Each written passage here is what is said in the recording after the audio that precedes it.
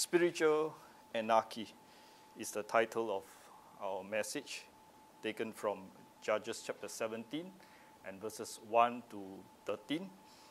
And there are two thoughts in the home, verse 1 to 6, and from the home, verse 7 to 13. This scene opens with a young Levite leaving his home in Bethlehem, Judah, seeking a better situation for himself. In due course, he comes to Micah's house. The Levites are to be serving in the work of the tabernacle and in the teaching of the Word of God. Instead, the entire system has broken down so that the Levites and the priests were no longer the dispenser of God's Word and His holy will for the people of God. We see here in chapter 17 the scene of a family making their own concoction of worship, making idols that please them, and doing that which was right in their own sight. In verse 6 of our text, we read, In those days, there was no king in Israel, but every man did that which was right in his own eyes. These were the days when they have drifted so far away, spiritually speaking, since the days of Moses and Joshua, when God's word is the indispensable guide to every aspect of life. That you remember we are studying the law of God on Sunday, and you realize that the law of God is so detailed and it uh, teaches uh, every aspect of our daily life. And uh, when the people of God are instructed and they understand, then there is a way forward for the people of God that uh, their life uh, will not uh, go into great chaos, anarchy, and destruction. You recall when God uh, gave Israel the land, uh, these are the words that Moses gave to Joshua Be strong and of a good courage, for unto this people shalt thou divide for an inheritance the land which I swear unto their fathers to give them. Only be thou strong and very courageous, that thou mightest observe to do according to all the law which Moses my servant commanded thee. Turn not from it to the right or to the left, that thou mayest prosper whithersoever thou goest. This book of the law shall not depart out of thy mouth, but thou shalt meditate therein day and night, that thou mayest observe to do according to all that is written therein. For then thou shalt make thy way prosperous, and then thou shalt have good success. Have not I commanded thee, be strong and of a good courage? Be not afraid, neither be thou dismayed. For the Lord thy God is with thee whithersoever thou goest. Biblical concerns when God's people fail to know God's word. Judges 17, verse 6 is one example of eh, the times of the judges when every man did that which was right in their own eyes. And the prophet Hosea, during the time of the divided kingdom, also said, My people are destroyed for lack of knowledge.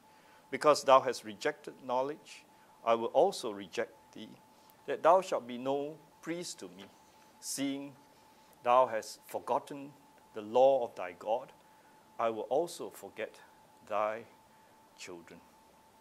In the wilderness, the tabernacle of system of sacrifice and worship was set up.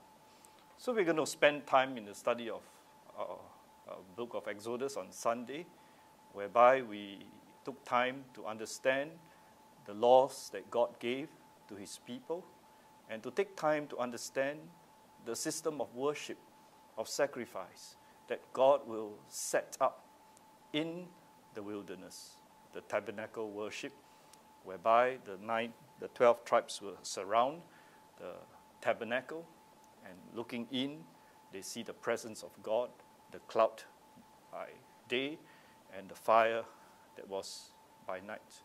And they understood and know that their sustenance comes from God, and God's word would be given to them when they were parked at Mount Sinai, and uh, so that they would be prepared. When they would inherit the land, they would know what to do. So, in the wilderness, the tabernacle system of sacrifice, worship was set up with the dividing of the inheritance. There seemed to be a drifting apart in their faith. The inroad of idolatry in unequal yoke, marriages outside of God's covenant family, and compromise in the faith. You remember when we had our family day in 2019, some of you were there. Uh, how to study the Bible was the topic that we were speaking about, and we had these questions that were asked. Right? We, we said, How much time per day do you spend on personal Bible study? You may include your quiet time as well, I said. May I ask a more probing question? How much devotion do you spend on personal Bible study? Right? It's not just a head knowledge, but here we are speaking about really understanding what the Word of God says and having a conviction to, to know how we can order our life. Do you think it is helping your spiritual growth? Is your Bible study uh, effectual, effective? Are you growing in the, in the Lord? And so we come to this question why study the Bible? Do you think you are living as Israel did during the time of the judges and during the time of the divided kingdom? Right? The Word of God tells us that in the last days, uh, we recognize that these are uh, those uh, same times of spiritual anarchy 2 Timothy 3, verse 1 to 5 says, This know also, that in the last days perilous times shall come. For men shall be lovers of their own selves, covetous, boasters, proud, blasphemers, disobedient to parents, unthankful, unholy, without natural affection, truce breakers, false accusers, incontinent, fierce, despisers of that, those that are good, traitors, heady, high minded, lovers of pleasure more than lovers of God, having a form of godliness, but denying the power thereof. From such, turn away. So here you see and you would notice uh, how uh, there is uh, in Israel uh, that, that form of godliness, isn't it? As, you, as we will study the text in, of Micah and the family, how can we make a difference in these last days of wantonness in the world around us? How do we live godly lives? A question that, that comes to our mind, isn't it? It begins with the knowing the ways of godliness and departing from evil. Proverbs 3, verse 7 says, Be not wise in thy own eyes. Fear the Lord and depart from evil. How do we do that? Well, it is by studying God's only revelation to us, the Bible. Now, what happened in the situation in Judges chapter 17? Uh, the scene opens in the hill country of Ephraim in a certain home. There was a man, Micah, and his mother, who set up an idol shrine. Verse 1 of our text says, There was a man of Mount Ephraim whose name was Micah, and he said unto his mother, The eleven hundred shekels of silver that were taken from thee, about which thou cursest and speakest also in my ears, behold, the silver is with me. I took it. So mother lost money. Suddenly, where she was safekeeping uh, her, uh, well, how she earned it, we are not told. Uh, but she had a large sum of money that was kept with her. And this money was stolen. And of course, she was very upset.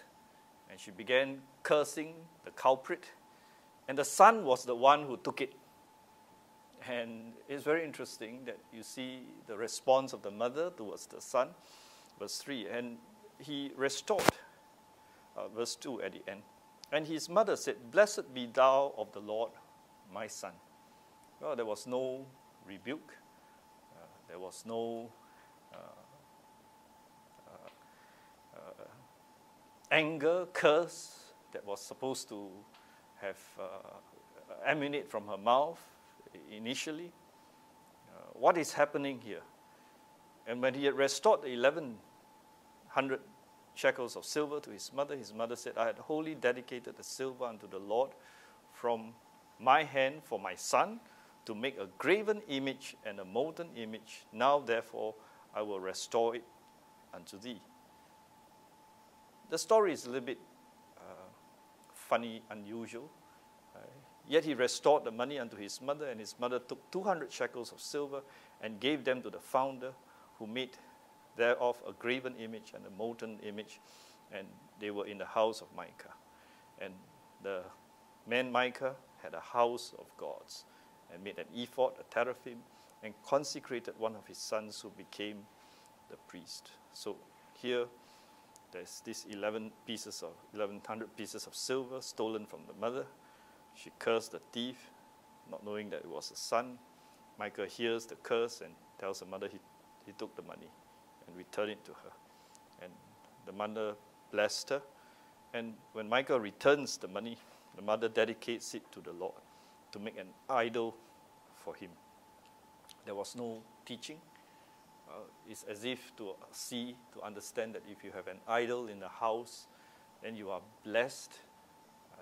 Uh, you have a form of God in your heart or in your hands that you can go to and you'll be blessed. And you, you, don't need, you don't need to do what is right in the sight of God. Right? And that's a form of religion.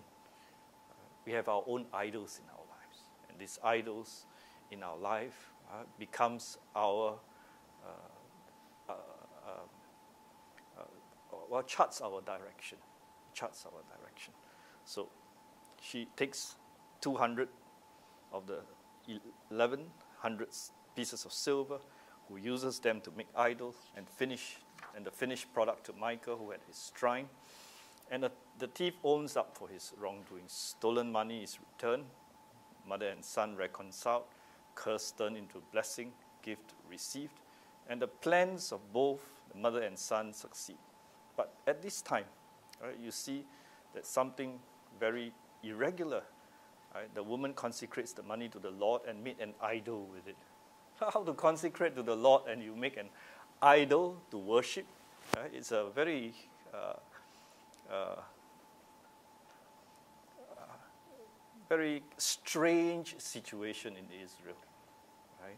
Uh, God has always taught them in the commandments not to make any graven image. But why were they making graven images? Right? They were transgressing the commandment of God, and it's as if they, they, have, here they have no qualms in that. They, either they don't know, right? they don't understand, or they just simply reject God's ways.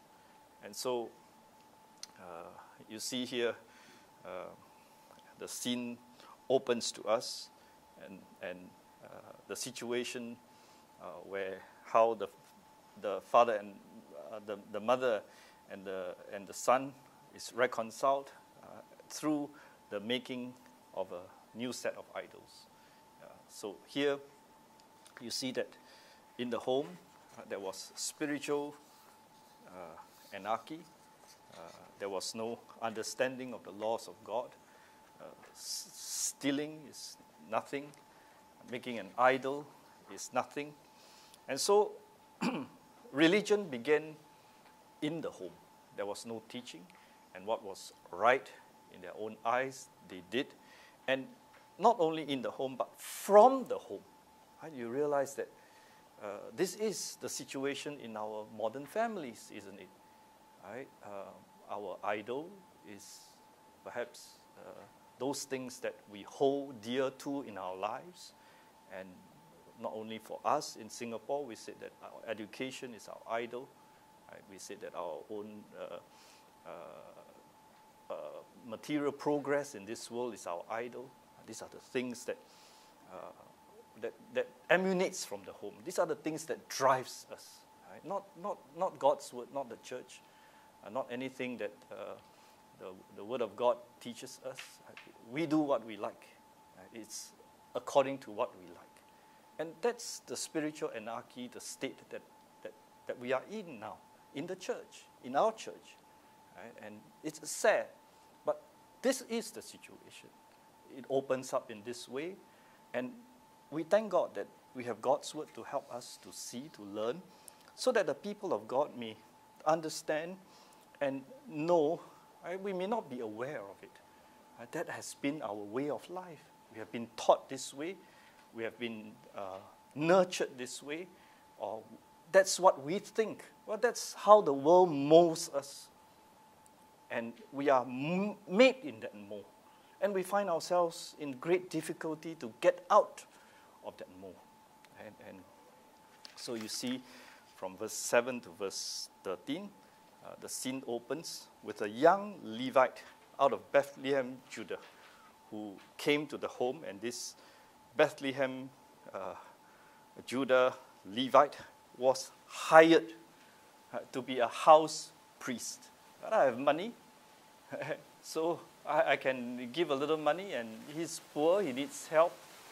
Uh, you give it to him, and he will, he will become your priest. And you tell him what to do. Right?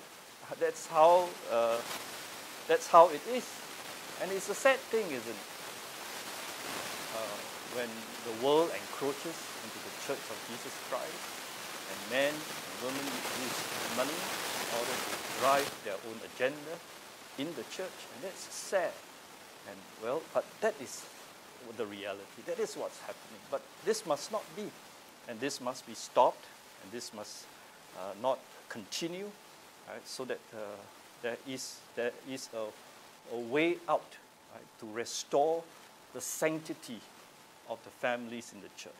So this scene opens with a young Levite uh, coming, and our text tells us, and the man departed out of the city from Bethlehem, Judah, to sojourn where he could find a place, and he came to Mount Ephraim, to the house of Micah, as he journeyed. And Micah said unto him, Whence comest thou? And he said unto him, I am a Levite of Bethlehem, Judah, and I go to sojourn where I find a place. And Micah said Dwell with me and be unto me a father and a priest, and I will give thee ten shekels of silver by the year, and a suit of apparel, and thy victuals. So the Levite went in. Oh, that is how it becomes, religion becomes a transaction, right? I give my money, so I get a little bit of religion that I think would satisfy my heart to think that I'm religious, that I'm following God. But in fact, that's, uh, that's far from it, isn't it? There's no true, proper consecration of the heart. And verse 10 And Micah said to him, Dwell with me and be with me a father and a priest, and I will give thee ten shekels of silver by the year, a suit of apparel, thy victuals. So the Levites went in. And this was what happened in Israel. Right? What happened was that there was a lot of spiritual, religious compromise. Right? And we said this morning right, that, uh, you know, uh, during the, that time, uh, before Israel entered the promised land, there was the mixing of marriage with the Moabites. And that mixing was fatal. Right? God had to uh, send a plague, and, you know, the there was a man, Phinehas, who had to go and simply take out the evil in Israel. Take out the evil. They have to be removed. No, no choice. Right? They become poisoned. They become poisoned. And the more it, it, it infects and it, it becomes so infectious amongst, amongst uh, and this is what happened. And that infection is causing a great cancer, right? And, and death at the end.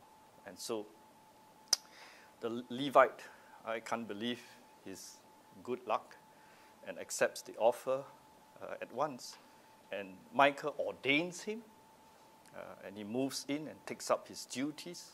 And it was uh, very business-like. Everything seems straightforward and above board. The interests of the parties happily coincide and they arrive at a, an arrangement that suits them. Well, what the world call a win-win situation. I, I, arrange what is right in my own sight. I do what is right in my own sight. I don't need the law of God. I can do what I want. It doesn't suit me, no one can stop me. If I don't come to this church, I go to another church. And better still, uh, after the last two years, uh, I can stay at home and uh, uh, watch and do what I want. I don't like it, it's fine. I don't need the fellowship. I don't need people to tell me what's wrong. Uh, I'm happy. I can exist on my own. I, have that, that, that capacity to order my own lives, and I'm comfortable. I'm comfortable because I have the, uh, that opportunity to see, wow, look, look, I can, I can uh, switch channels and, and learn from every single pastor in every single church that I think is good. Why does God put one in the local church? And why? Because you know, it is in the local church that there is a personal understanding of what's going on in the person's life. And if not, it becomes so chaotic, isn't it? And I believe that the last past two years, well, religion has become a religion of convenience. And I pray that the church uh, would not carry on this way.